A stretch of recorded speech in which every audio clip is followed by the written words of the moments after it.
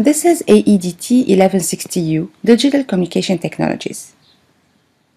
This week we will discuss digital communication technologies and liberal professions. And the topic for this video clip is Managing your profession through communication technologies.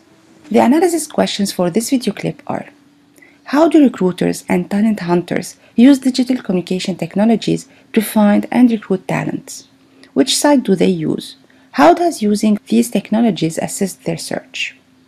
How important is it that students and future job seekers promote their skills online? What are the profiles that stand out from the crowd? How can students become more visible to online recruiters and talent hunters? To give you more idea about how to manage your profession through communication technologies, I asked these questions to the strategic sourcing recruitment lead at CGI, Tony Giacobbe. Our guest, Tony Giacobbe, is an accomplished recruitment sourcing professional with a wide breadth of experience in the implementation of strategic sourcing methodologies and tools. He is an experienced recruiter utilizing effective, leading edge technologies to source, recruit, and hire tier 1 professionals throughout North America. Tony has a proven track record of listening and understanding business needs, partnering with senior leadership on workforce planning, strategic recruitment initiatives, execution, and delivery. The first question I asked our guest was Can you talk about your experience in using digital communication technologies to find and recruit talent? Which sites have you been using, and how did the use of these technologies assist your search? I mean, the world, as you know, in recruiting is very competitive. So, using leading edge technologies to find talent in the technology sector is critical. Um, the days of advertising and posting are not even remotely as effective as they were, say, five, seven, you know, years ago. Um, typically, you've got to go out and utilize technology to find people. Um, they're fairly not always easy to find, but if you've got the right tools in place and the right sources, you can find them. And the whole point about all that is utilizing these technologies to make contact, to find people and speak to them real time, because nothing can replace a one-on-one conversation. So these tools basically are tools to find and source people. Um, some of the tools that are very prevalent in today's market, um, one of my absolute favorites is LinkedIn. Has connected millions upon millions of people throughout various countries um, in technology. Um, LinkedIn Recruiter is a specific tool that enables people in sourcing and recruiting to connect with other people um, on a very one-on-one basis, um, and to actually search out the specific talents within both organizations, cities, countries, um, and even very, very niche specific technological capabilities. Other sources are things like um, Indeed.com, The Ladders, you know, Bullhorn, uh, RecruitIn.net. Um, there's a multitude of other sites that utilize similar um, technologies or algorithms to find individuals in specific sectors. Other sources that are wonderful are things like user groups on LinkedIn. The second question I asked our guest was According to you, how important is it to students and future job seekers to promote their skills online? Having a LinkedIn profile is extremely important. LinkedIn grows by 1 million people a day, new subscribers a day worldwide. That's incredible. Yeah. The reach they have outweighs any other product or any other service in the world currently. And people don't realize is, and I do this myself, if I'm if I have an interview with someone who's coming in, the first thing I'll do is I'll look up their LinkedIn profile to get a better understanding of their background, who they are, you know what they've done. Um, if I see a very bare LinkedIn profile, I question why. That's the first thing in my head. The other thing about LinkedIn, even as a student, is who your connections are. Try to aspire to connect with people that will help you get other people within your career. People need to understand that LinkedIn is not Facebook. You're not there to make friends. You're not going to use LinkedIn to post pictures. Exactly. You're using LinkedIn as a professional connection service to meet other individuals and connect with them from a business perspective mm-hmm. only. And I need to stress that clearly. It's a business connection only. Mm-hmm. Um, and people will look at you as a business connection only.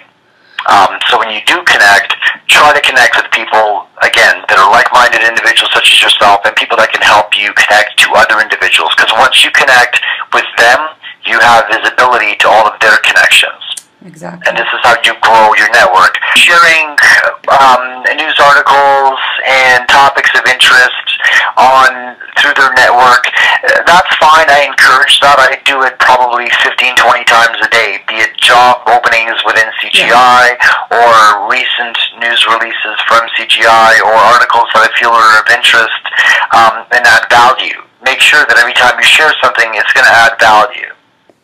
The last questions I asked Tony were Based on your experience, what are the profiles that stand out from the crowd?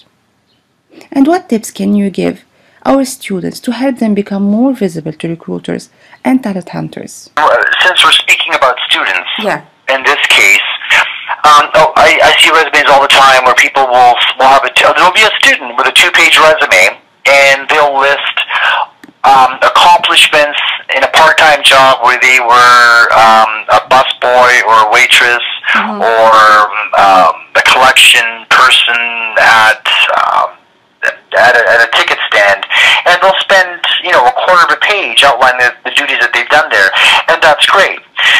But they completely disregard they've got a bachelor of science in computer, a bachelor of computer science degree, and that's all it'll say from from University of Toronto, Concordia, Waterloo, whichever. Rarely will they elaborate on what they've majored in, what their their GPA has been.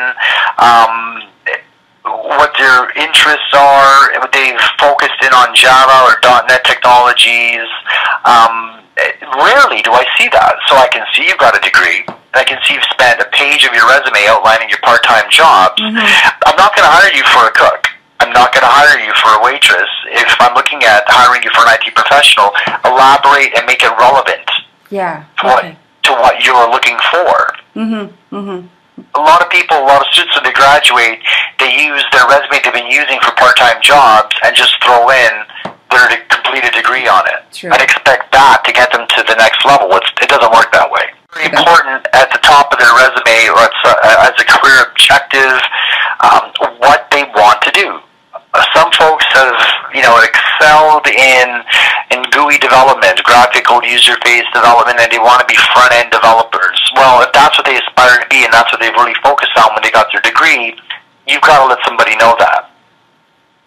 I may not know that just from, well, I would not know that just from mm-hmm. seeing that you've got a bachelor of science degree or a master's in mm-hmm. computer science. I don't know. Mm-hmm. mm-hmm. So, or some people just love working with databases. Unless I know that and you've outlined that for me in your career aspirations and goals, I'm not going to know that. I go to a lot of university career fairs for CGI, and one of the most important things that I speak to students about is getting a profile on LinkedIn. And that doesn't mean just your name and the university you've graduated from. As an employer, when we mm-hmm. assess recent graduates, the first thing I'll do is look on LinkedIn. And I understand as a recent graduate or student, you don't have a lot of accomplishments career-wise to speak of. But what people overlook are their accomplishments they do in life. So belonging to um, associations in the university, you know, being leaders of groups in universities, um, part-time jobs that they've had that have showed leadership qualities and abilities, that have showed entrepreneurial spirit. These are the kinds of things that differentiate one student from another. The, crea- the creative side, um, putting things down that such as hobbies, and by hobbies I don't mean um, you know going out to a nightclub and keeping up on the most recent music, as opposed to spending you know three hours a, a week or five hours a week on you know researching new technologies, things that will better enable them as individuals to grow their themselves both personally and from a career perspective. So, uh, Tony, thank you very much. You're very welcome. The synthesis questions for this video clip are What purpose do professional networking sites serve? How should you proceed to get connected on professional networking sites? And are there any experiences in using professional networking sites you would like to share?